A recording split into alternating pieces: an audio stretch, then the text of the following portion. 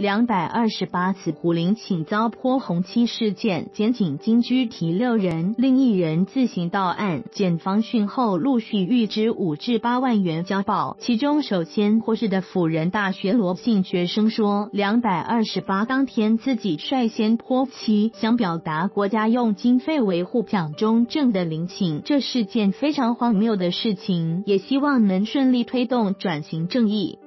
罗表示，今天早上十点多打算要去吃早餐，一走出家门就被警方逮捕。经五万元交保获释后，得知其他人也检方预支五至八万元交保金，认为明显已高于一般陈抗者价码，不符合比例原则，而且也表明自己并无逃亡之余。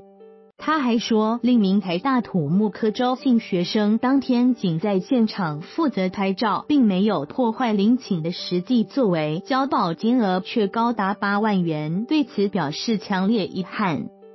检警金居提到案三男三女，检方讯后陆续依毁损罪嫌预令五至八万元交保。目前剩下台大医科张姓学生及另名张姓学生保释金未确定。现场声援学生也开始集资到一旁自动柜员机提领现金，誓言要将每个人都保出来。罗姓学生中五万元交保首先获释。记者曾见右摄影分享声援同。人在现场领钱，要集资将每个人都保出来。记者曾见右摄影分享。